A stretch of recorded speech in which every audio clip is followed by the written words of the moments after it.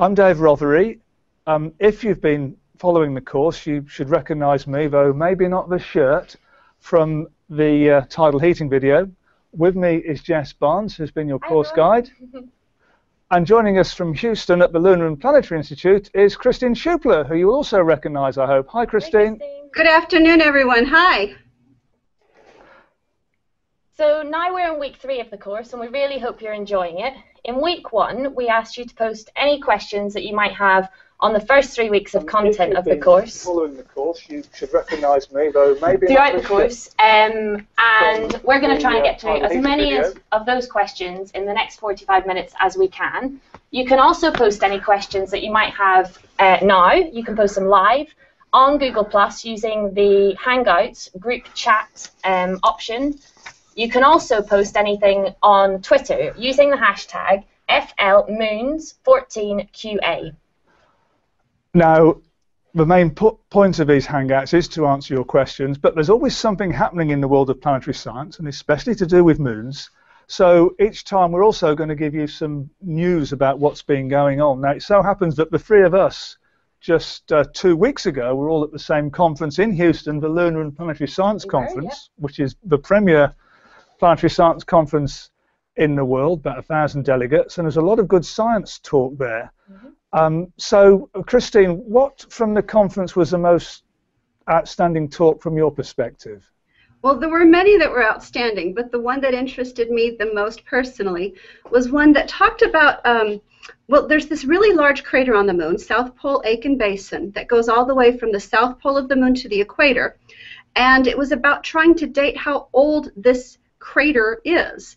And uh, some of the estimates, some of the data suggest that this crater could have actually formed from an impact that occurred before the moon finished solidifying while it was still covered with an ocean of lava. And to me, that was just amazing. Wow, that's really cool, really interesting. Yeah, that was good. Jess, what was the highlight for you? Um, I think for me, it definitely was something that happened just before the conference. It was a micro symposium that was held on the Saturday and Sunday before the conference. And on the Sunday, um, they had two Apollo astronauts talking. So they had people who'd actually walked on the moon, set foot on the moon. And they even had someone, uh, they had Dave Scott, who was one of the astronauts on the Apollo 15 mission. And I've recently done some uh, work for my PhD looking at an Apollo 15 sample.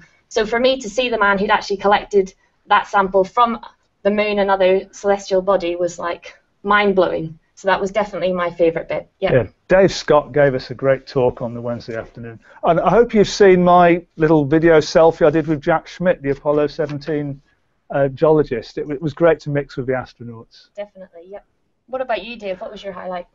Well, the thing that struck me most was a talk about Titan, um, this large satellite of Saturn with a dense atmosphere, but it has considerably, considerably, considerably large seas filled largely of methane with some ethane, and these have tides.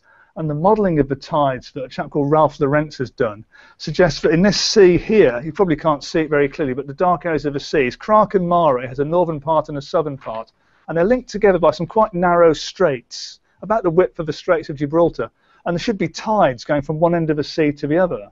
And in the constriction, in the narrows, you should get tidal currents that are quite fast. You should maybe get breaking waves, maybe whirlpools. A bit like the Corryvreckan race off the coast of Scotland was the analogy. And if you were there, you would hear the tide rushing to and fro in the narrow bit of Kraken Mare. And I, I thought that was an amazing thing to imagine. One day we'll go and we'll go and see it.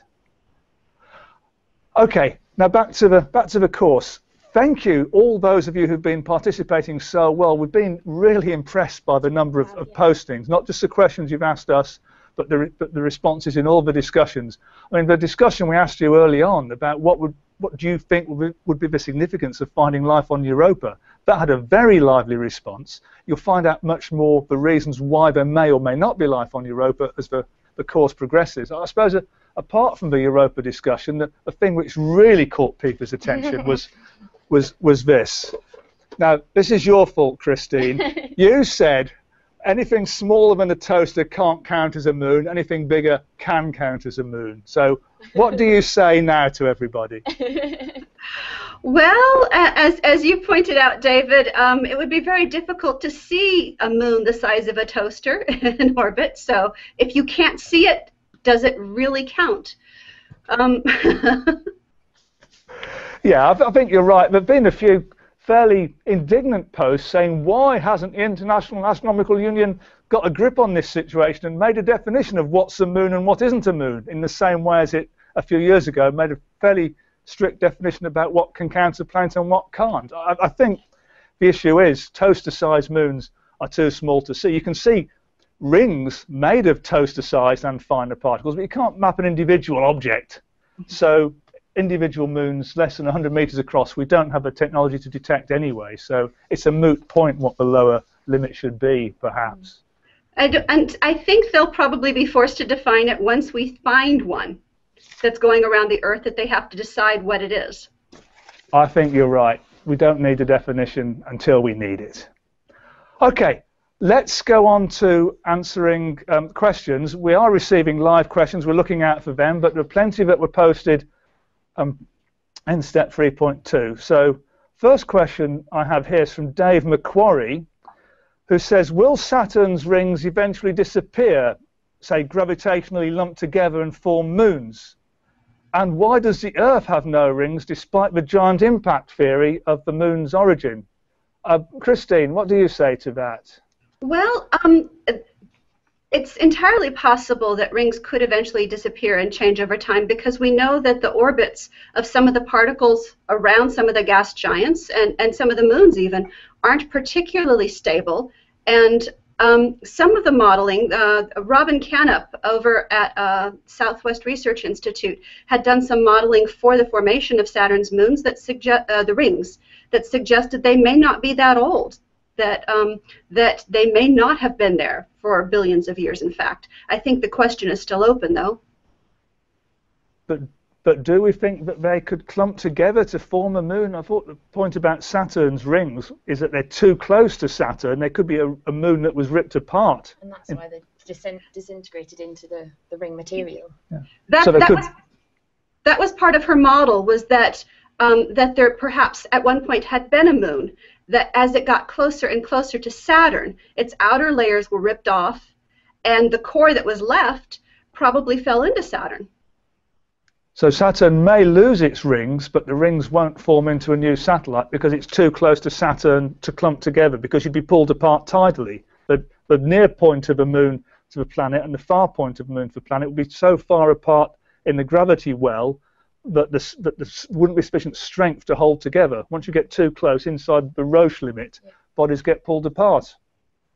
Indeed, that's yep. pretty much it, yeah? Yeah.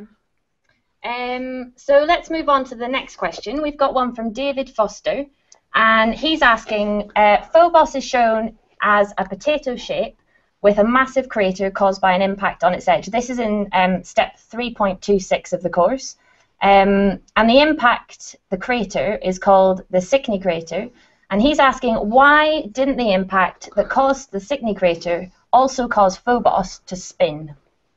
Okay, well, Phobos is in synchronous rotation, as almost every moon is, uh, as it orbits the planet.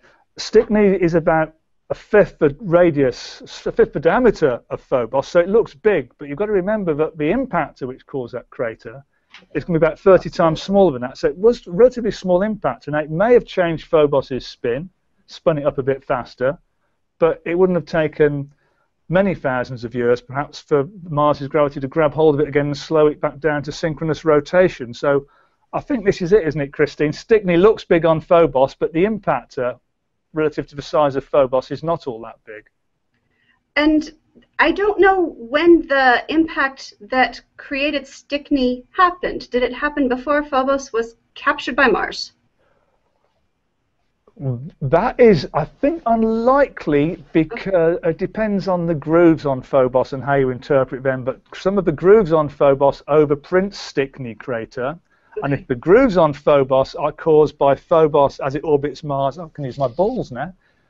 If the green one's Mars and the blue one's Phobos, as Phobos goes around Mars, if there's an impact onto Mars throwing ejecta out, impact onto Mars throwing ejecta out, Phobos will travel through the ejecta and leave machine gun bullet traces on it, and those overprint Stickney. So Okay. Stickney appears to have formed after Phobos was captured by Mars. I think that's how most people would read it. But the origin of the grooves on Phobos is not proven. Okay. Okay, a- Another question, yeah? Yeah. Um, Sarah Price has asked, how are you able to tell what a moon is made of from such large distances and what the inner core of a planetary body consists of? Christine. I love this question. This is one of my favorites. Uh, um, um, a- a- anyone who's ever uh, received a present that was wrapped and tried to pick it up and shake it to figure out what was inside was using some deduction uh, based on the weight, based on how things move, the sound. Well, astronomers and, and planetary scientists, geologists, use some of the similar techniques to try to figure out what's going on inside of a planet. We look at the outside, we look at the spectrum, which is like a fingerprint to tell us what the planet's made of on the outside. But on the inside, we're deducing it based on picking it up and shaking it in a way. As a mission goes around a planet, it's measuring the magnetic field that tells us a little bit about the inside. It's measuring its mass, its volume, and its density, and then we it's almost like picking it up and shaking it, trying to figure out what's inside. Yes, because you know the size of something and you can measure its total mass because of its effect on a orbiting body or a spacecraft passing by, you can work out its density. And if its average density is greater than the density of what you can see at the surface, it has to be something denser inside. I mean, that's how we know the Earth's got a, a dense core. Now, we have other evidence on the Earth because we've got seismic waves and so on. But the moons, we just have to make reasoned deductions. We know what the solar system is made of. We can see the common material. It, the core of the moon, the tiny core of the moon, could be titanium, but titanium is pretty rare. Iron is much more likely, but we can't prove it. But we make Yeah. a best guess. We make a best guess. Yeah. And we do have samples uh, from the interiors of asteroids that were broken apart when we get meteorites. So that gives us some clues as to what they were made out of. That also gives us more evidence. Absolutely. Meteorites tell us what the solar system is made of. Indeed, yep. Okay, let's switch over to the live chat. So we've had one post on um, Twitter. Don't forget you can get in touch with us via Twitter using the hashtag FLMoons14QA to keep those questions coming in. Hmm. So we've had one from David Blanchflower, and he says, "Do you think that the planets, the giant planets, Jupiter and Saturn, are capturing new moons at the present time?" Good question.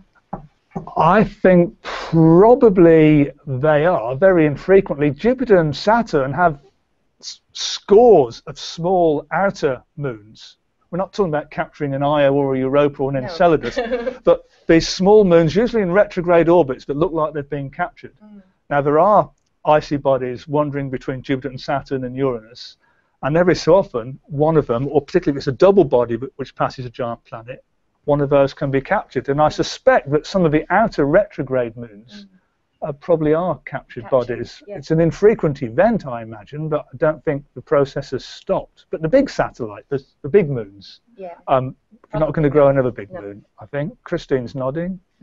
I, I agree. And the thing that amazed me was those those massive orbits of those little captured bodies that are out there. Some of them take years to go around their planets, which is hard to imagine. Well, people playing moon trumps will find some moons which take a long time to go around. While we're talking about these bodies between Jupiter and Saturn and Uranus, gives me a chance to mention Chariklo, the thing that's been in the news uh, just this week. It was announced that a body has been found, uh, it's a Centaur class body between Saturn and Uranus, an icy body, and a, it, it was realized it was going to pass in front of a star and occult the star, and that's the best way you have of measuring the size of these bodies by how long it passes across a star. So this group of Southern Hemisphere observatories in South America watched this occultation and saw the star hidden by Chariklo going in front of it briefly, but to their surprise, just before and just after, the star dimmed twice, and it's got extremely narrow rings going around it, which is a 200 kilometer body, an icy body, with narrow rings around it. And because it's got rings were a surprise, but the narrowness of the rings suggests that Chariklo also has moons to keep those rings um, in shape. It, they wouldn't stay so tight unless there were some shepherd satellites. Now, if Chariklo came close to Saturn, it would be quite easy for Saturn to grab one of Chariklo's moons and steal it for itself, prob- probably. You can't steal a single body going by, because you can't rob it all of, of all its momentum. But if you've got a double body, mm-hmm. you can grab the smaller one, and the bigger one will go away a bit faster. So there's a moon of Saturn in the in the in the you know, just waiting to happen. If yeah. goes too close to Saturn, one of its unseen moons could be grabbed by Saturn. So thank you for that question, yeah, uh, David. David. Very very useful. Very okay, another question from earlier. Chris Cox writes, have we been able to gather any information on moons in other solar systems? Um, now, this is a, um, a, good point. I've seen it raised uh, elsewhere. We know many planets around other stars, but have we ever found a moon of another planet? Christine, anything to say?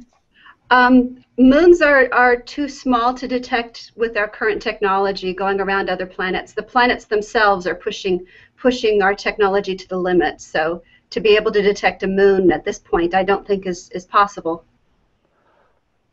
Yeah, I, I agree, but to my surprise, I was talking to one of our exoplanet experts here at the Open University, and she says we're not far off oh. with, with transits of a planet going in front of a star. If it's got a big enough moon, we might spot a separate dip as the moon goes across the stellar disk.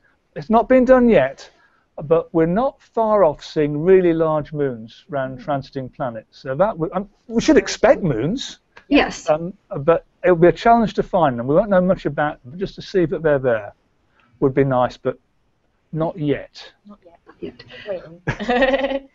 okay, we've got another question here uh, from previously from Sarah Jorgensen. And she's asking, how does, gra- how does gravity have anything to do with pulling moons uh, into spherical shapes? Go on, Christine. well, um, gravity, uh, all the moons have mass, and so that mass is pulling everything towards the center of mass. And so if you take something, um, any object, and you start to pull everything towards the center, you're going to form a circle or a sphere if you're doing it in three dimensions. So you'd simply need an object that's massive enough to have enough gravity to have it become more of a spherical shape. So that's why planets are round, and that's why that's one of the defining characteristics for a, a dwarf planet is that it has to be somewhat round. It has to have been massive enough for gravity to have made it sort of round. Um, if it spins fast enough, many objects aren't perfectly round, right? Um, Saturn, if you look at it sideways, it's it's wider than it is tall. It's spinning a little too fast, and um, so yeah, it's not always possible, but uh, completely. The gravity is the main thing which tends to make bodies spherical. I mean, um, Sarah writes, how does gravity have anything to do with pulling moons into spherical shapes? Well, gravity is the main thing which makes something spherical. If, if the body is too small, it doesn't have enough gravity to overcome its strength, and it can be whatever shape it happens to be. But if you're an icy body, more than a couple of hundred kilometers radius, 400 kilometers diameter, you're, you're not strong enough to resist your own gravity. You'll have to pull yourself into a mm. sphere. Unless you get too close to a giant planet which rips you apart. uh, is it my turn to read a question? Yes. Okay, so Jay Wright uh, writes, for planetary scientists as a community and also as individuals, which of the gas giant moons appears most promising in the search for life, Europa or Enceladus? Um, well, this is a, a moot point. Uh, we had to make a decision when we were designing Moon Trumps, which I hope you've been playing online. and you will find my glamorous assistant can hold up the large versions of the cards. You, you will find that in the potential for life category here, uh, we, well, it was my fault. I opted for 50% potential for life on Europa and only 30% on Enceladus. Other people may put them the other way around. I think most people would agree Enceladus and Europa are the moons most likely to host life. Yep. The most habitable. Europa is bigger. It has a global ocean probably under its ice. It has quite a lot of heat in its rocky core. Think of Europa as a less hot version of Io covered in 100 kilometers of ice and water. So there's, there's much more energy to support life mm. in Europa. Enceladus, we do know, has water because it has these eruption plumes. It's a smaller body. Um, the thing we don't know, and you'll come on to this in, in the final week of the course, although these have places that would be habitable for life, could life ever have got started there? That's the big unknown, and that's why it would be significant to find life in Europa. If we ever do find life in Europa, unless it has somehow got to Europa from Earth or been seeded from Mars, and Earth was seeded from Mars. So let's, let's, if we can rule out a common origin, then if it started independently on Europa, then we're talking about life starting twice in the same universe, even in the same solar system. It can start independently twice in the solar system, it must have started many times elsewhere in the universe, because there are bound to be places just as habitable as Europa and Enceladus and the Earth elsewhere. But we don't know how easy it is for life to get started. We do know it's quite easy for there to be places where life could exist yeah. if it could ever get started. Habitable zones, yeah. whether they're inhabited. Yeah, there's a difference between, difference between habitable and inhabited. So that was a, a good question. I don't know that the community would agree with me about which is the most likely to be inhabited, but Io is not there, and Enceladus and Europa are right at the top of the list there are top choices. Yeah. okay, let's go back to the questions we've had from before. Uh, we haven't had any more on the Twitter, so I'll just remind you of the Twitter feed again. That's hashtag FLMoons14QA, and you can also use the Hangouts group chat app, um, which is at the side of, of the screen at the moment. So please use those to ask, ask us any live questions, and we'll try to answer them as best we can. Uh, so next question is from Ray Ball, and that's I remember reading an article some years ago that said the Earth had a, another very small satellite at quite some distance away with a diameter of around a mile. Um, is this an accepted fact? And if so, is it just a captured asteroid fragment and is it still in orbit? So, Dave, any thoughts on that one? Okay, well, I do have some thoughts. It was on QI a while ago. No, the Earth does not have another moon. There are one or two strange asteroids that orbit the Sun in one year, so they are, they, they are close to the Earth. Their relationship to the Earth is rather strange. They're in so-called horseshoe orbits. They get ahead of the Earth, and then they lag behind the Earth. Um, but they do not orbit the Earth, they go around the Sun. The most famous of these is known as Cruithne, or Cruithnia, depends how you pronounce your Gaelic. Um, it is not a moon of the Earth. It orbits the Sun close to the Earth and takes a year to go around the Sun. Well, sometimes close to the Earth, sometimes far from the Earth. But on average, it takes a year to go around the Sun. It doesn't orbit the Earth. It's not a moon. Neither are any of the other candidates. Am I being controversial there or not? I don't That's think what so. I've heard as well. Yep. So still one moon for the Earth. yeah, believe believe me, don't believe Stephen Fry or the QI elves. Okay. Um, Question from Simon Hodgson. He writes in an old Observer book of manned spaceflight, accounts of the Apollo landings, because they left seismometers behind, talked about twice monthly moonquakes. Are these genuine phenomena? Um, Christine. Absolutely. Um, we know that impacts on the moon are occurring regularly, and those can cause moonquakes. And as you pointed out, David, um, uh, so can um, tides, tidal forces from the Earth on the moon are also causing moonquakes. We don't think that um, that the moon has active volcanism. We don't think that there's massive movements in the moon's mantle or, or core that would be uh, making it um, tectonically or geologically active anymore, though. Jess, you're a moon expert. Almost. um, yes, quite right. Who's, who sent that in? Simon. Um, we do get moonquakes, and they're actually really deep. So they're thought to have come from anywhere between 800 and 1,000 kilometers within the moon. Um, they're also um, asymmetrically distributed across the moon's surface. So we know that most of them are actually concentrated on the near side of the moon, but there's one called A33, which is actually on the far side of the moon and has an antipode on the near side. So it's not exactly known why there's asymmetry, but that might have something to do with the asymmetric nature of the moon itself, of its mm-hmm. um, layering system. Um, and what causes them, again, isn't isn't quite known, but we know that they coincide with cyclic tidal periodicity. So uh, that is another thing that another reason why I'm going to put a little plug out there that we need to go back to the moon and we need to set up a seismic network.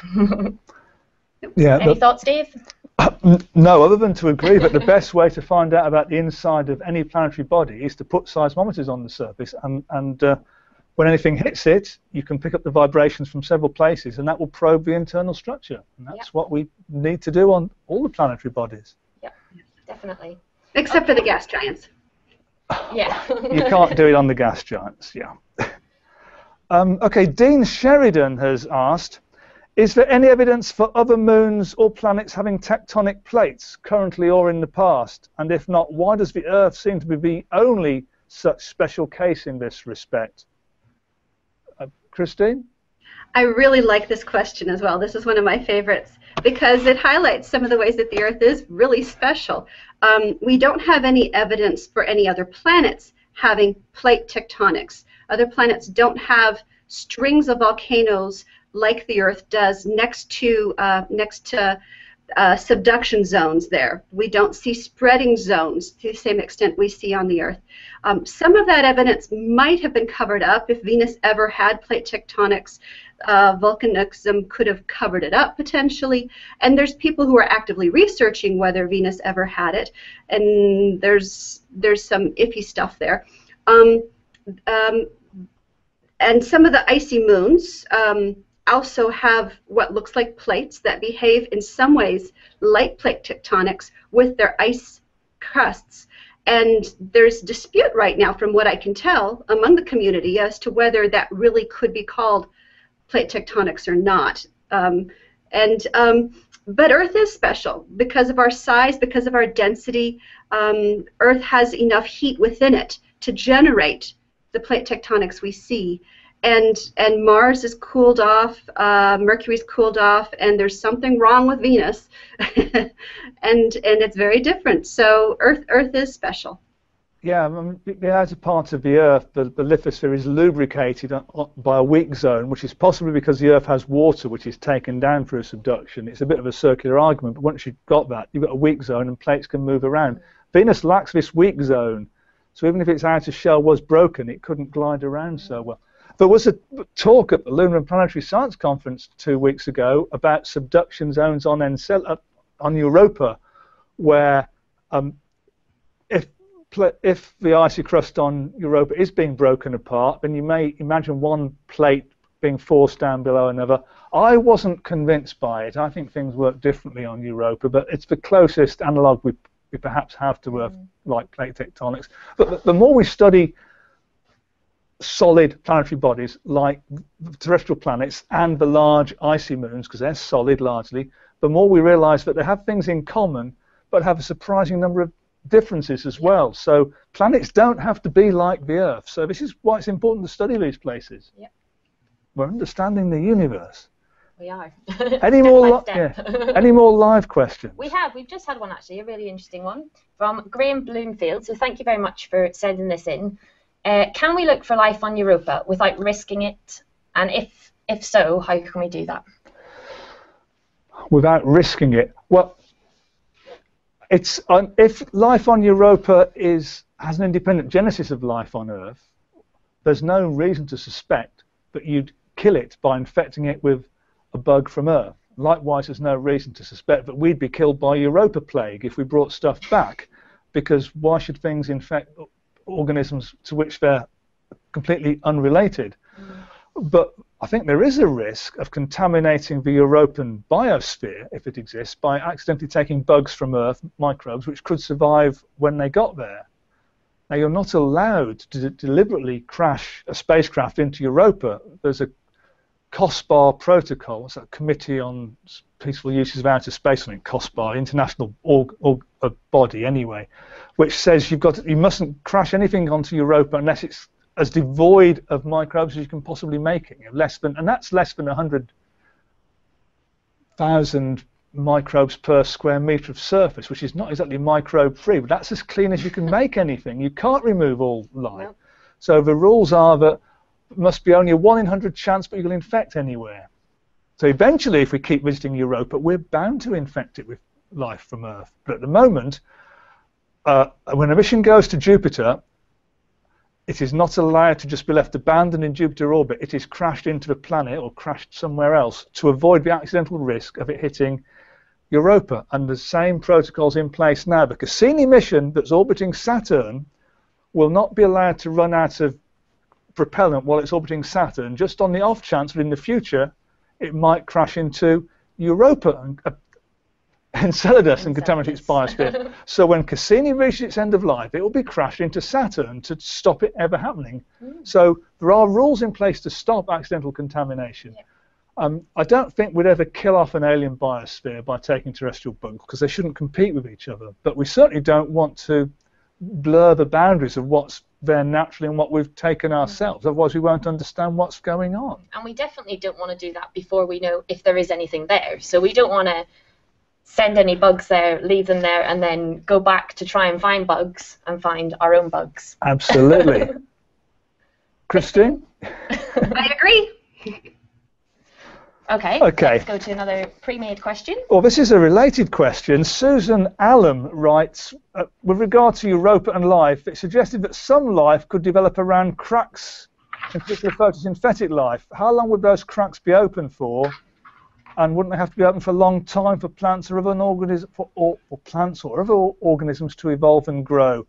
Um, there's two habitable niches on Europa that have been identified. There's possible hot water vents, black smokers on the floor of the ocean where life could live off chemical energy, and that's maybe where life began on the Earth, so it could begin there on Europa.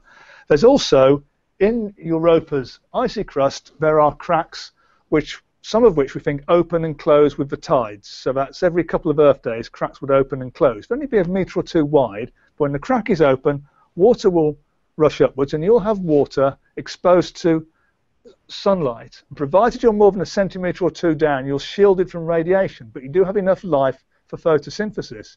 So life could exist there. and that would only be a few hours per two-day tidal period when it was exposed to the surface. It, when the cracks close, the water and the floating algae or whatever will be, be pushed down. But a few hours every couple of days is surely enough for life to exist. So uh, we would hope um, that life could survive on Europa in those circumstances. We don't know. don't know. A misconception that I've spotted in the posts in the course is that people are saying, well, surely the surface of Europa is too cold. It's below minus 100 centigrade. And that's true at the normal surface, but when the cracks open, relatively warm water comes to the surface, and it will start to freeze over at the top fairly quickly. But while it's still liquid, mm. it's not at minus 100 centigrade, it's at zero centigrade or a bit below if it's salty. But life can and exist. That, that might just be the conditions that it needs to to survive. What do you think, Christine? You're you're nodding your head there. well, there's, there's so much that we don't know, right, about the boundaries, but we know that that we've found bacteria living inside of seas encased in ice in Antarctica um, on all sides. So yeah, it's entirely possible. The only question I have is how it would um, how it would evolve. Would it have the materials it needed to evolve in the first place? Um, the, the ingredients, but. Yeah, I mean they're not very tempting places for life, but they're no, the most habitable places beyond the Earth. Well, no, you're not a microbe. No. very true. Okay, let's move on. Uh, let's take another live question because we've had loads of questions coming in, and we're really grateful to you sending in all your questions. So um, we've had one here from Brian Jones. How dangerous are micrometeorites to astronauts? So that's a good question. Let's go to Christine. See if you have any insight into this. Um, I think that micrometeorites can be very dangerous if you're out on a on a spacewalk. It could puncture your suit, and um, and and so it could be very dangerous. I, I, I suspect that they go through training where they try to patch uh, small impacts like that, um, and you could have similar micrometeorite impacts if you're walking around on the moon unprotected. Definitely, or even just hitting spacecraft and what effect that has. I guess we don't know yet, but Dave, thoughts?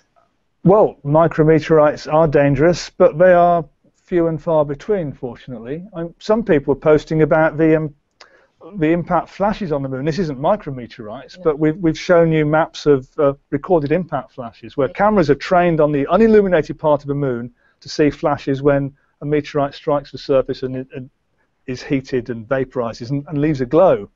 Yeah. Um, now, and those look, it looks like there's loads of those on the moon, but the moon's a big place, and these are making craters only a few meters across. So most of it, you know, you'd be unlucky to be hit by anything on the moon. Yep. But if you if we ever go there and build infrastructure intended to survive Then we for need to think it. decades, then it's a risk you have to take because the moon has those things would burn up in the moon in the Earth's atmosphere, but the moon has no such protection. Exactly. Um, okay, another question about Europa and Enceladus.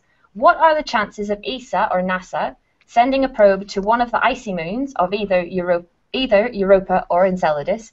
And what kind of tonnage are these uh, are the volcanoes on these bodies pumping out on a weekly basis? So that's two two different questions there. Okay. I I looked up the tonnages and forgot to bring the piece of paper with me, but it's about 2,000 kilograms per second coming out in the plumes on Enceladus, and about 4,000 kilograms per second coming out in the plumes on Europa when they are active. We've seen them just a few times. We don't know how persistent they are. Sounds like a lot, but if they kept churning out that much material, it would take 10 times longer than the age of the universe to, to empty them. So that, that there's plenty of stuff inside these bodies. They're not going to run out of material. They're not shrinking. Um, uh, so that's how much stuff is being ejected. About missions, well, there was to be a joint NASA European Space Agency mission to Jupiter called JUICE, which is still going ahead. NASA pulled out of that a year or two ago, so it was planned to send a European mission to Jupiter, which will end up orbiting Ganymede, but it will make a study of Europa by some flybys as well. So that's going to happen. So that's Jupiter Icy Moons Explorer, and that will be in the 2030s sometime. But just a month or so ago, NASA announced that it had changed its mind and was going to send a Europa orbiter as well. There's not enough money being ponied up yet, I understand, to build and launch it, but there's a lot of money for a study, and who knows whether that will get there before the European one. Uh, do you have anything, any light to cast on this, Christine?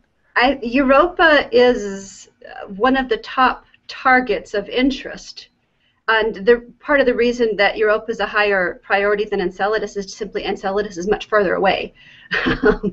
um, Europa is a, is a top target. It would be very expensive to send a mission to primarily study Europa. You would need a mission that's strong, protected against the magnetic fields, and uh, capable of slowing down and, and going into orbit around Europa. It's, it's, it's an expensive mission, but it is a high priority. I suspect that uh, it will happen. The question is, will it happen in 10 years or 20 years or 30 years? Yeah, most missions to be out of solar system always seem to be 20 years into the, the future, Yeah. sadly. But they do happen sometimes. We've got a wonderful mission in Cassini, Yeah. still there, still observing the Enceladus plumes. Something to look forward to. Okay, more questions. We don't have very much time left. Uh, Margaret Greening writes, do the effects of surface gravity or atmosphere make any appreciable difference to impactor speed? Who wants to take that one? I'll start. The the surface gravity does. Uh, the gravity of a planet will change the speed at which something uh, is approaching, and um, one of our scientists, Dr. David Kring, has uh, put together uh, a grid that uh, a graph that kind of shows um, the the higher speed that an asteroid will hit the Earth compared to the speed that that same asteroid would hit the Moon with because of the increased gravitational pull of the Earth. Okay, but atmospheres, I mean, a, a large body coming in to the Earth isn't even going to notice the Earth's atmosphere. It bores a hole straight down and, and bang. But small objects, meter-sized objects, aren't going to get through the Earth's atmosphere, but they will hit the Moon. So there is a size um, bracket where the atmosphere will have a, an appreciable effect, but big objects don't even notice it. Yeah. Just stream on through. Yeah. Okay, let's go back to the live questions on the on Twitter. Uh, we've had one from Josh Andrews that says, "Is Earth unusual for having a large moon, or is the inner solar system likely to be unusual for lacking moons?" Tough one.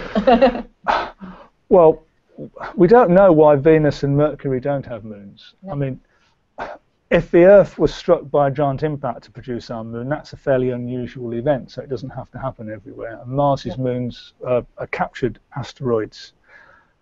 Um, the other part of the question is, is the Earth unusual in having such a large moon? Well, the only other body, large body, which has a moon similar size is Pluto, which doesn't count as a planet anymore, but its moon Charon is even bigger relative to Pluto than our moon is relative to us. Yep. So the, the Earth-Moon double planet is less of a double planet in relative sizes than Pluto Charon are. Um, I don't think we know enough to say how common moons are on terrestrial planets around other stars yet, and will be a long time before we find any of those, sadly, I believe. Christine's nodding. Yep. um, okay. Um, Right, somebody asks, uh, where, oh sorry, David Foster asks, I've already asked one of David's, never mind, you get two goes, David. Where did the ice, ammonia, methane and such like come from in such vast quantities as found on Europa, Enceladus and Titan? So why are these volatile ices out there? Uh, all right, I'll answer it. Actually, there's, there's not a lot of ammonia and methane on Europa. Uh, we get the more strange stuff out at Saturn and beyond. So Jupiter, the ice is very largely water ice. And the reason it's there is it was cold enough at Jupiter and beyond for these things to condense. Get into Mars and closer to the Sun, it was too hot when those bodies were growing for ice to condense. So you don't have a lot of water on the Earth, really, compared to what you've got in Jupiter and in Jupiter's moons. Further from the Sun, it's even colder, and that's where you tend to get the ammonia and methane as, yeah. as well. So there are vast quantities of these volatiles. It's no surprise because the most common element in the universe and in the sun and the nebula from which the Earth and all of the planets formed is hydrogen, followed by helium, which doesn't react, and oxygen is one of the next most common. So hydrogen and oxygen make water. Nitrogen's common. Put that with hydrogen, it makes methane. So um, these things are common. So it's common substances gases are more common than, or, or gases that form ice are more common than things that form rock. So when it's cold enough, that's what you get. So we think we've got time for one more question. One more question. Okay. Um, okay, let's take the question from Doug Bliss, which is when a meteor impact on the moon causes a bright flash of light, is it possible to use spectroscopic analysis of the color of light to gain information regarding the chemical constituents of the objects involved. And this is quite an interesting one. Yeah, it would be a good thing to do. I, am not sure these, fla these flashes of light are not very bright. Nope. You have to keep video cameras staring at the moon even to spot them. I, I, bet somebody will, will try to do it. Of course, you would get the chemistry of the moon mixed with the chemistry of the impactor, but in principle, you can do it. There was a deliberate crashing of a space probe into the moon. It was the LCROSS mission, yep. And part of it, um, the, the initial flash of light isn't just going to be from the materials from the impactor. A lot of that is also going to be the vaporization of the moon itself. So you would probably get um, a mixture of the two, and depending on the size of the impactor, you might not see it at all in the spectrum, I guess somebody's bound to try it. I think it'll be challenging, but be some, somebody, somebody will try it. Well, I think we've run out of time. Thanks for all the questions. I'm much. sorry we couldn't get round to all of them. Um, so that's it uh, from me and Jess and Christine. Um, this should be live on YouTube shortly afterwards. And if you're watching it on YouTube but not live, I hope you've enjoyed it.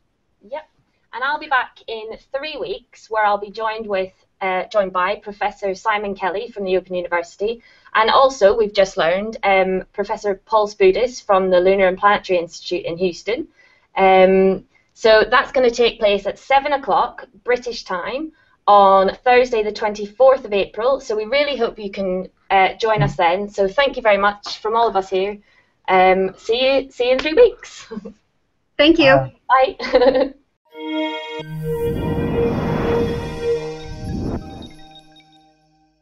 Things going around it, which is a 200 kilometer body, an icy body, with narrow rings around it. And because it's got rings were a surprise, but the narrowness of a ring suggests that Chariklo also has moons to keep those rings um, in shape. it, they wouldn't stay so tight unless there were some shepherd satellites. Now, if Chariklo came close to Saturn, it would be quite easy for Saturn to grab one of Chariklo's moons and steal it for itself, probably. You can't steal a single body going by because you can't rob it all of, of all its momentum. But if you've got a double body, mm. you can grab the smaller one, and the bigger one will go away a bit faster. So there's a moon of Saturn in the in the make in the you know, just waiting to happen. If yeah. goes too close to Saturn, one of its unseen moons could be grabbed by Saturn. So thank you for that question, yeah, uh, David. David. Very very useful. Very okay, another question from earlier. Chris Cox writes have we been able to gather any information on moons in other solar systems? Um, now, this is um, a good point. I've seen it raised uh, elsewhere. We know many planets around other stars, but have we ever found a moon of another planet? Christine, anything to say? Um, moons are, are too small to detect with our current technology going around other planets. The planets themselves are pushing pushing our technology to the limit. So to be able to detect a moon at this point, I don't think is, is possible. Yeah, I, I agree, but to my surprise, I was talking to one of our exoplanet experts here at the Open University, and she says we're not far off oh. with, with transits of a planet going in front of a star. If it's got a big enough moon, we might spot a separate dip as the moon goes across the stellar disk. It's not been done yet, but we're not far off seeing really large moons around transiting planets. So that we, um, we should expect moons. Yes. Um, but it will be a challenge to find them. We won't know much about them, but just to see that they're there would be nice, but not yet. Not yet. Not yet. okay, we've got another question here uh, from previously from Sarah Jorgensen. And she's asking, how does, gra- how does gravity have anything to do with pulling moons uh, into spherical shapes? Go on, Christine. well, um, gravity, uh, all the moons have mass, and so that mass is pulling everything towards the center of mass. And so if you take something, um, any object, and you start to pull everything towards the center, you're going to form a circle or a sphere if you're doing it in three dimensions. So you'd simply need an object that's massive enough to have enough gravity to have it become more of a spherical shape. So that's why planets are round, and that's why that's one of the defining characteristics for a, a dwarf planet is that it has to be somewhat round. It has to have been massive enough for gravity to have made it sort of round. Um, if it spins fast enough, many objects aren't perfectly round, right? Um, Saturn, if you look at it sideways, it's it's wider than it is tall. It's spinning a little too fast, and um, so yeah, it's not always possible, but uh, completely. gravity is the main thing which tends to make bodies spherical. I mean, um, Sarah writes, how does gravity have anything to do with pulling moons into spherical shapes? Well, gravity is the main thing which makes something spherical. If, if the body is too small, it doesn't have enough gravity to overcome its strength, and it can be whatever shape it happens to be. But if you're an icy body, more than a couple of hundred kilometers radius, 400 kilometers diameter, you're, you're not strong enough to resist your own gravity. You'll have to pull yourself into a sphere. Unless you get too close to a giant planet which rips you apart. uh, is it my turn to read a question? Yes. Okay, so Jay Wright uh, writes, for planetary scientists as a community and also as individuals, which of the gas giant moons appears most promising in the search for life, Europa or Enceladus? Um, well, this is a, a moot point. Uh, we had to make a decision when we were designing Moon Trumps, which I hope you've been playing online. and you will find, my glamorous assistant can hold up the large versions of the cards. You, you will find that in the potential for life category here, uh, we, well, it was my fault. I opted for 50% potential for life on Europa and only 30% on Enceladus. Other people may put them the other way around. I think most people would agree Enceladus and Europa are the moons most likely to host life. Yep. They're the most habitable. Europa is bigger. It has a global ocean probably under its ice. It has quite a lot of heat in its rocky core. Think of Europa as a less hot version of Io covered in 100 kilometers of ice and water. So there's, there's much more energy to support life mm. in Europa. Enceladus, we do know, has water because it has these eruption plumes. It's a smaller body. Um, the thing we don't know, and you'll come on to this in, in the final week of the course, although these have places that would be habitable for life, could life ever have got started there? That's the big unknown. And that's why it would be significant to find life in Europa. If we ever do find life in Europa, unless it has somehow got to Europa from Earth or been seeded from Mars and Earth was seeded from Mars, so let's, let's, if we can rule out a common origin, then if it started independently on Europa, then we're talking about life starting twice in the same universe, even in the same solar system. If it can start independently twice in the solar system, it must have started many times elsewhere in the universe, because there are bound to be places just as habitable as Europa and Enceladus and the Earth elsewhere. But we don't know how easy it is for life to get started. We do know it's quite easy for there to be places where life could exist yeah. if it could ever get started. Habitable zones, yeah. whether they're inhabited. Yeah, there's a difference between, difference between habitable and inhabited. So that was a, a good question. I don't know that the community would agree with me about which is the most likely to be inhabited, but Io is not there, and Enceladus and Europa are right at the top of the list. There are top choices. Yeah. okay, let's go back to the questions we've had from before. Uh, we haven't had any more on the Twitter, so I'll just remind you of the Twitter feed again. That's hashtag FLMoons14QA. And you can also use the Hangouts group chat app, um, which is at the side of, of the screen at the moment. So please use those to ans- ask us any live questions, and we'll try to answer them as best we can. Uh, so next question is from Ray Ball, and that's I remember reading an article some years ago that said the Earth had a, another I'm Dave Rothery.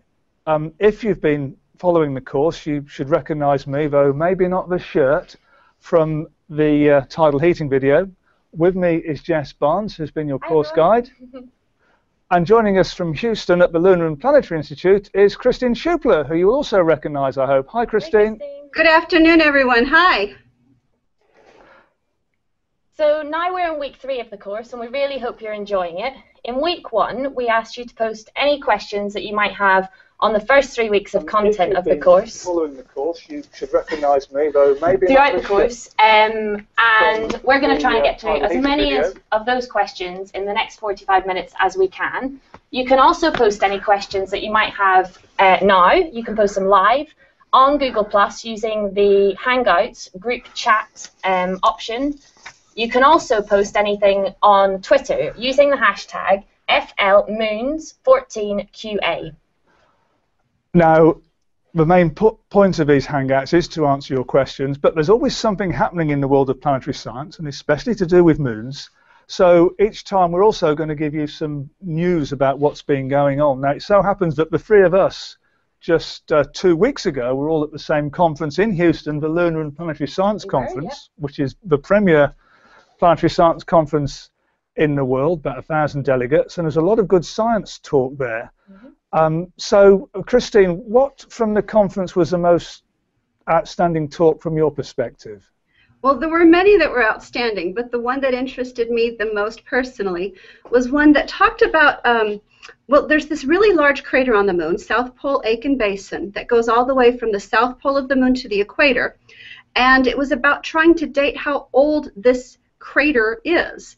And uh, some of the estimates, some of the data suggest that this crater could have actually formed from an impact that occurred before the moon finished solidifying while it was still covered with an ocean of lava.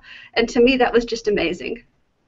Wow, that's really cool, really interesting. Yeah, that was good. Jess, what was the highlight for you? Um, I think for me, it definitely was something that happened just before the conference. It was a micro symposium that was held on the Saturday and Sunday before the conference. And on the Sunday, um, they had two Apollo astronauts talking. So they had people who'd actually walked on the moon, set foot on the moon. And they even had someone, uh, they had Dave Scott, who was one of the astronauts on the Apollo 15 mission. And I've recently done some uh, work for my PhD looking at a Apollo 15 sample. So for me to see the man who'd actually collected that sample from the moon, another celestial body, was like mind blowing. So that was definitely my favourite bit. Yeah. yeah. Dave Scott gave us a great talk on the Wednesday afternoon. And I hope you've seen my little video selfie I did with Jack Schmitt, the Apollo 17 uh, geologist. It, it, was great to mix with the astronauts. Definitely, yep. What about you, Dave? What was your highlight? Well, the thing that struck me most was a talk about Titan, um, this large satellite of Saturn with a dense atmosphere, but it has considerably, considerably, considerably large seas filled largely of methane with some ethane, and these have tides. And the modelling of the tides that a chap called Ralph Lorenz has done suggests that in this sea here, you probably can't see it very clearly, but the dark areas of the seas, Kraken Mare has a northern part and a southern part, and they're linked together by some quite narrow straits, about the width of the Straits of Gibraltar. And there should be tides going from one end of the sea to the other.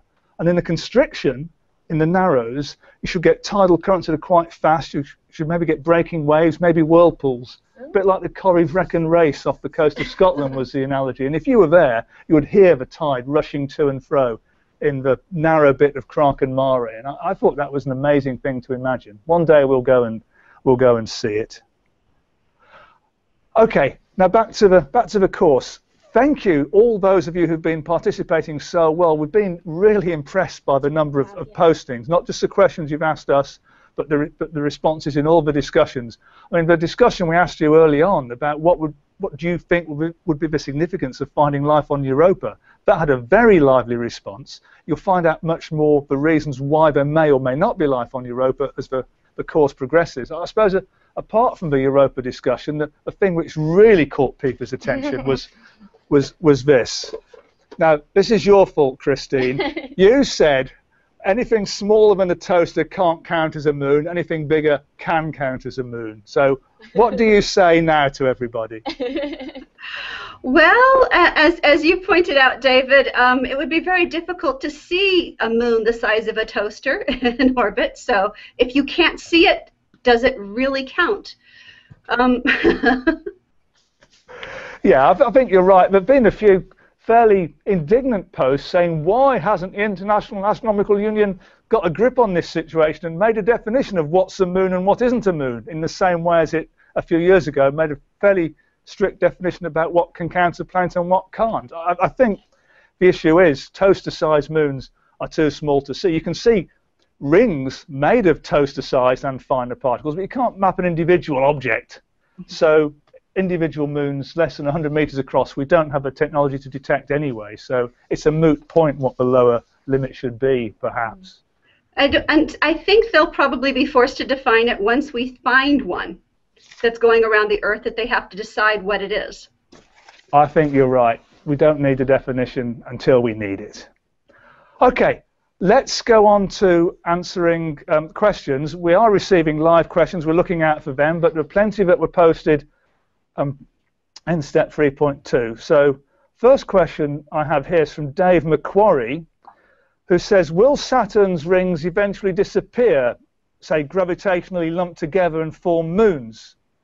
And why does the Earth have no rings despite the giant impact theory of the moon's origin? Uh, Christine, what do you say to that? Well, um, it's entirely possible that rings could eventually disappear and change over time because we know that the orbits of some of the particles around some of the gas giants and, and some of the moons even aren't particularly stable. And um, some of the modeling, uh, Robin Canup over at uh, Southwest Research Institute had done some modeling for the formation of Saturn's moons that suggest uh, the rings that suggested they may not be that old that um, that they may not have been there for billions of years. In fact, I think the question is still open, though. But but do we think that they could clump together to a very small satellite at quite some distance away with a diameter of around a mile? Um, is this an accepted fact? And if so, is it just a captured asteroid fragment and is it still in orbit? So, Dave, any thoughts on that one? Okay, well, I do have some thoughts. It was on QI a while ago. No, the Earth does not have another moon. There are one or two strange asteroids that orbit the Sun in one year, so they are, they, they are close to the Earth. Their relationship to the Earth is rather strange. They're in so-called horseshoe orbits. They get ahead of the Earth, and then they lag behind the Earth. Um, but they do not orbit the Earth. They go around the Sun. The most famous of these is known as Cruithne, or Cruithne, depends how you pronounce your Gaelic. Um, it is not a moon of the Earth. It orbits the Sun close to the Earth and takes a year to go around the Well, sometimes close to the Earth, sometimes far from the Earth, but on average it takes a year to go around the Sun. It doesn't orbit the Earth. It's not a moon, neither or any of the other candidates. Am I being controversial there or not? I don't That's think what so. I've heard as well. Yeah. So still one moon for the Earth. Yeah, believe believe me, don't believe Stephen Fry or the QI elves. Okay. Um, question from Simon Hodgson. He writes in an old Observer book of man's spaceflight, accounts of the Apollo landings because they left seismometers behind. Talked about twice monthly moonquakes. Are these genuine phenomena? Um, Christine. Absolutely. Um, we know that impacts on the moon are occurring regularly, and those can cause moonquakes. And as you pointed out, David, um, uh, so can um, tides, tidal forces from the Earth on the moon are also causing moonquakes. We don't think that um, that the moon has active volcanism. We don't think that there's massive movements in the moon's mantle or, or core that would be uh, making it um, tectonically or geologically active anymore, though. Yes, you're a moon expert. Almost. um, yes, quite right. Who's, who sent that in? Simon. Um, we do get moonquakes, and they're actually really deep. So they're thought to have come from anywhere between 800 and 1,000 kilometers within the moon. Um, they're also um, asymmetrically distributed across the moon's surface. So we know that most of them are actually concentrated on the near side of the moon. But there's one called A33, which is actually on the far side of the moon and has an antipode on the near side. So it's not exactly known why there's asymmetry, but that might have something to do with the asymmetric nature of the moon itself, of its um, layering system. Um, and what causes them, again, isn't isn't quite known, but we know that they coincide with cyclic tidal periodicity. So uh, that is another thing that another reason why I'm going to put a little plug out there that we need to go back to the moon and we need to set up a seismic network. Yeah. Any the- thoughts, Dave? N- No, other than to agree that the best way to find out about the inside of any planetary body is to put seismometers on the surface, and, and uh, when anything hits it, you can pick up the vibrations from several places, and that will probe the internal structure. And that's Yep. what we need to do on all the planetary bodies. Yeah, definitely. Except for the gas giants. Yeah. You can't do it on the gas giants, yeah. Um, okay, Dean Sheridan has asked, is there any evidence for other moons or planets having tectonic plates currently or in the past? And if not, why does the Earth seem to be the only such special case in this respect? Uh, Christine? I really like this question as well. This is one of my favorites because it highlights some of the ways that the Earth is really special. Um, we don't have any evidence for any other planets having plate tectonics. Other planets don't have strings of volcanoes like the Earth does next to uh, next to uh, subduction zones there. We don't see spreading zones to the same extent we see on the Earth. Um, some of that evidence might have been covered up if Venus ever had plate tectonics. Uh, volcanism could have covered it up potentially. And there's people who are actively researching whether Venus ever had it, and there's there's some iffy stuff there. Um, um, and some of the icy moons um, also have what looks like plates that behave in some ways like plate tectonics with their ice crusts. And there's dispute right now, from what I can tell, among the community as to whether that really could be called plate tectonics or not. Um, and um, but Earth is special because of our size, because of our density. Um, Earth has enough heat within it to generate the plate tectonics we see. And and Mars is cooled off, uh, Mercury's cooled off, and there's something wrong with Venus, and and it's very different. So Earth Earth is special. Yeah, I mean, as a part of the Earth, the, the lithosphere is lubricated by a weak zone, which is possibly because the Earth has water which is taken down through subduction. It's a bit of a circular argument, but once you've got that, you've got a weak zone and plates can move around. Venus lacks this weak zone, so even if its outer shell was broken, it couldn't glide around so well. There was a talk at the Lunar and Planetary Science Conference two weeks ago about subduction zones on Encel- uh, on Europa, where um, if if the icy crust on Europa is being broken apart, then you may imagine one plate being forced down below another. I wasn't convinced by it. I think things work differently on Europa, but it's the closest analogue we, we perhaps have to Earth, mm. like plate tectonics. But the, the more we study solid planetary bodies like terrestrial planets and the large icy moons, because they're solid largely, the more we realize that they have things in common, but have a surprising number of differences as well. So planets don't have to be like the Earth. So this is why it's important to study these places. Yep. We're understanding the universe. We are. any more? yeah. any more live questions? We have. We've just had one actually, a really interesting one from Graham Bloomfield. So thank you very much for sending this in. Uh, can we look for life on Europa without risking it? And if if so, how can we do that? Without risking it, well, it's um, if life on Europa is has an independent genesis of life on Earth, there's no reason to suspect that you'd kill it by infecting it with a bug from Earth. Likewise, there's no reason to suspect that we'd be killed by Europa plague if we brought stuff back, because why should things infect organisms to which they're completely unrelated? Mm. But I think there is a risk of contaminating the European biosphere, if it exists, by accidentally taking bugs from Earth, microbes, which could survive when they got there. Now, you're not allowed to deliberately crash a spacecraft into Europa. There's a COSPAR protocol, it's a Committee on Peaceful Uses of Outer Space, I mean COSPAR, international org, org, uh, body anyway, which says you've got to, you mustn't crash anything onto Europa unless it's as devoid of microbes as you can possibly make it. You know, less than, and that's less than 100,000 microbes per square meter of surface, which is not exactly microbe free, but that's as clean as you can make anything. You can't remove all life. So the rules are that must be only a 1 in 100 chance, but you'll infect anywhere. So eventually, if we keep visiting Europa, we're bound to infect it with life from Earth. But at the moment, uh, when a mission goes to Jupiter, it is not allowed to just be left abandoned in Jupiter orbit. It is crashed into the planet or crashed somewhere else to avoid the accidental risk of it hitting Europa. And the same protocols in place now. The Cassini mission that's orbiting Saturn will not be allowed to run out of propellant while it's orbiting Saturn, just on the off chance that in the future it might crash into Europa and, Enceladus and contaminate its biosphere. so when Cassini reaches its end of life, it will be crashed into Saturn to stop it ever happening. Mm. So there are rules in place to stop accidental contamination. Yeah.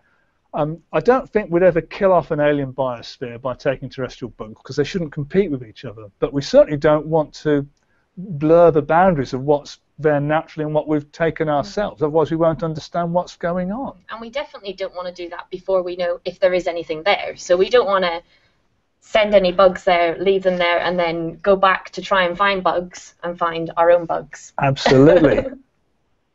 Christine? I agree. Okay. Okay. Let's go to another pre-made question. Well, this is a related question. Susan Allen writes, uh, with regard to Europa and life, it suggested that some life could develop around cracks, in particular photosynthetic life. How long would those cracks be open for? And wouldn't they have to be open for a long time for plants or other organisms for, or, or, plants or other organisms to evolve and grow? Um, there's two habitable niches on Europa that have been identified. There's possible hot water vents, black smokers on the floor of the ocean, where life could live off chemical energy, and that's maybe where life began on the Earth. So it could begin there on Europa. There's also in Europa's icy crust there are cracks which some of which we think open and close with the tides. So that's every couple of Earth days, cracks would open and close. They'll only be a metre or two wide, but when the crack is open, water will rush upwards, and you'll have water exposed to sunlight. Provided you're more than a centimetre or two down, you're shielded from radiation, but you do have enough life for photosynthesis. So life could exist there. and that would only be a few hours per two-day tidal period when it was exposed to the surface. It, when the cracks close, the water and the floating algae or whatever will be will be pushed down. But a few hours every couple of days is surely enough for life to exist. So uh, we would hope um, that life could survive on Europa in those circumstances. We don't know. And a misconception that I've spotted in the posts in the course is that people are saying, well, surely the surface of Europa is too cold. It's below minus 100 centigrade. And that's true at the normal surface, but when the cracks open, relatively warm water comes to the surface, and it will start to freeze over at the top fairly quickly. But while it's still liquid, mm. it's not at minus 100 centigrade, it's at zero centigrade, or a bit below if it's salty, but life can and exist. That, that might just be the conditions that it needs to to survive. What do you think, Christine? You're, you're nodding your head there. well, there's, there's so much that we don't know, right, about the boundaries, but we know that, that we've found bacteria living inside of seas encased in ice in Antarctica um, on all sides. So, yeah, it's entirely possible. The only question I have is how it would um, how it would evolve. Would it have the materials it needed to evolve in the first place? Um, the, the ingredients, but. Yeah, I mean they're not very tempting places for life, but they're no. the most habitable places beyond the Earth. Well, no, you're not a microbe. No. very true. Okay, let's move on. uh, let's take another live question because we've had loads of questions coming in, and we're really grateful to you sending in all your questions. So um, we've had one here from Brian Jones. How dangerous are micrometeorites to astronauts? So that's a good question. Let's go to Christine, see if you have any insights into this. Um, I think that micrometeorites can be very dangerous if you're out on a on a spacewalk. It could puncture your suit, and um, and and so it could be very dangerous. I I, I suspect that they go through training where they try to patch uh, small impacts like that, um, and you could have similar micrometeorite impacts if you're walking around on the moon unprotected. Definitely, or even just hitting spacecraft and what effect that has, I guess we don't know yet. But Dave, thoughts? Well, micrometeorites are dangerous, but they are few and far between, fortunately.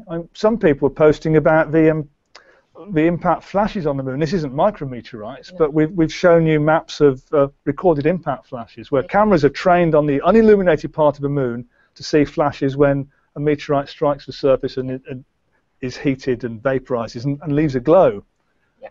Um, now, and those look, it looks like there's loads of those on the moon, but the moon's a big place, and these are making craters only a few meters across. So most of it, you know, you'd be unlucky to be hit by anything on the moon. But if, you, if we ever go there and build infrastructure intended to survive for decades, then it's a risk you have to take because the moon has those things would burn up in the moon in the Earth's atmosphere, but the moon has no such protection. Exactly. Um, okay, another question about Europa and Enceladus. What are the chances of ESA or NASA sending a probe to one of the icy moons of either, Euro- either Europa or Enceladus and what kind of tonnage are these uh, are the volcanoes on these bodies pumping out on a weekly basis? So that's two two different questions there. Okay, I I looked up the tonnages and forgot to bring the piece of paper with me, but it's about 2,000 kilograms per second coming out in the plumes on Enceladus, and about 4,000 kilograms per second coming out in the plumes on Europa when they are active. Mm-hmm. We've seen them just a few times. We don't know how persistent they are.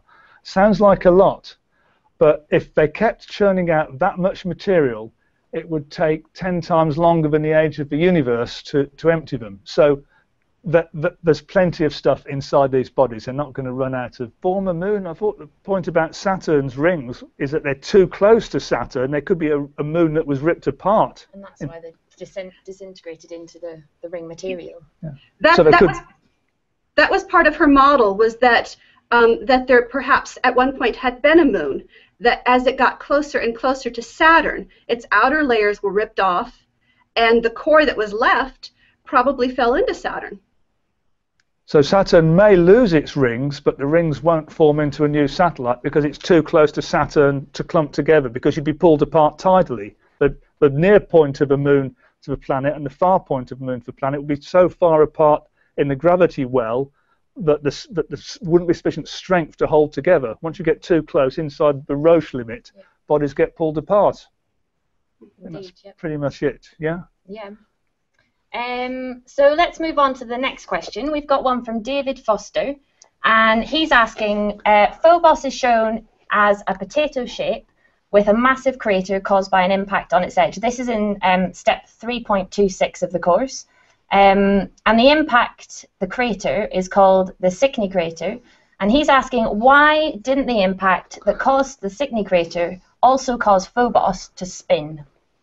Okay, well, Phobos is in synchronous rotation, as almost every moon is, uh, as it orbits the planet. Stickney is about a fifth the radius, a fifth the diameter of Phobos, so it looks big, but you've got to remember that the impactor which caused that crater is going to be about 30 times smaller than that. So it was a relatively small impact, and it may have changed Phobos' spin, spun it up a bit faster, but it wouldn't have taken many thousands of years, perhaps, for Mars's gravity to grab hold of it again and slow it back down to synchronous rotation. So I think this is it, isn't it, Christine? Stickney looks big on Phobos, but the impactor, uh, relative to the size of Phobos, is not all that big. And I don't know when the impact that created Stickney happened. Did it happen before Phobos was captured by Mars?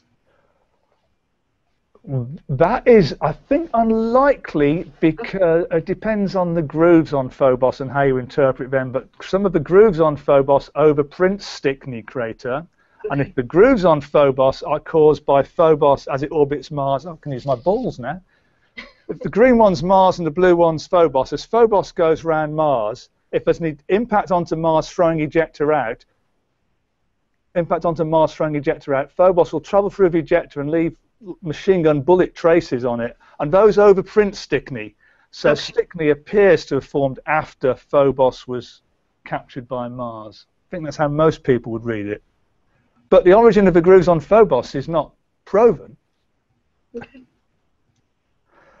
okay another question, yeah? yeah. Um, Sarah Price has asked, how are you able to tell what a moon is made of from such large distances? And what the inner core of a planetary body consists of? Christine. I love this question. This is one of my favorites. Uh, um, um, anyone who's ever uh, received a present that was wrapped and tried to pick it up and shake it to figure out what was inside was using some deduction uh, based on the weight, based on how things move, the sound. Well, astronomers and, and, planetary scientists, geologists, use some of the similar techniques to try to figure out what's going on inside of a planet. We look at the outside, we look at the spectrum, which is like a fingerprint to tell us what the planet's made of on the outside. But on the inside, we're deducing it based on picking it up and shaking it in a way. As a mission goes around a planet, it's measuring the magnetic field that tells us a little bit about the inside. It's measuring its mass, its volume, and its density, and then we it's almost like picking it up and shaking it, trying to figure out what's inside. Yes, because you know the size of something and you can measure its total mass because of its effect on an orbiting body or a spacecraft passing by, you can work out its density. And if its average density is greater than the density of what you can see at the surface, it has to be something denser inside. I mean, that's how we know the Earth's got a, a dense core. Now, we have other evidence on the Earth because we've got seismic waves and so on. But the moons, we just have to make reasoned deductions. We know what the solar system is made of. We can see the common material. the core of the moon, the tiny core of the moon, could be titanium, but titanium is pretty rare. Iron is much more likely, but we can't prove it. But we make yeah. a best guess. We make a best guess. Yeah. And we do have samples uh, from the interiors of asteroids that were broken apart when we get meteorites. So that gives us some clues as to what they were made out of. That also gives us more evidence. Absolutely. Meteorites yep. tell us what the solar system is made of. Indeed, yep. Okay, let's switch over to the live chat. So we've had one post on um, Twitter. Don't forget you can get in touch with us via Twitter using the hashtag FLMoons14QA to keep those questions coming in. Mm. So we've had one from David Blanchflower, and he says, Do you think that the planets, the giant planets, Jupiter and Saturn, are capturing new moons at the present time? Good question. I think probably they are very infrequently. Jupiter and Saturn have scores of small outer moons. We're not talking about capturing an Io or a Europa or an no. Enceladus, but these small moons, usually in retrograde orbits, that look like they've been captured. Mm. Now, there are icy bodies wandering between Jupiter and Saturn and Uranus, and every so often, one of them, or particularly if it's a double body which passes a giant planet, one of those can be captured. And I suspect that some of the outer retrograde moons mm. uh, probably are captured, captured bodies. It's an infrequent event, I imagine, but I don't think the process has stopped. But the big satellite, the, the big moons, yeah. um, You're not going to grow another big No. moon, I think. Christine's nodding. I, I agree. And the thing that amazed me was those those massive orbits of those little captured bodies that are out there. Some of them take years to go around their planets, which is hard to imagine. Well, people playing moon trumps will find some moons which take a long time to go around. While we're talking about these bodies between Jupiter and Saturn and Uranus, gives me a chance to mention Chariklo, the thing that's been in the news uh, just this week. It was announced that a body has been found, uh, it's a Centaur class body between Saturn and Uranus, an icy body, and a, it, it was realized it was going to pass in front of a star and occult the star, and that's the best way you have of measuring the size of these bodies by how long it passes across a star. So this mm-hmm. group of Southern Hemisphere observatories in South America watched this occultation and saw the star hidden by Chariklo going in front of it briefly, but to their surprise, just before and just after, the star dimmed twice, and it's got extremely narrow rings.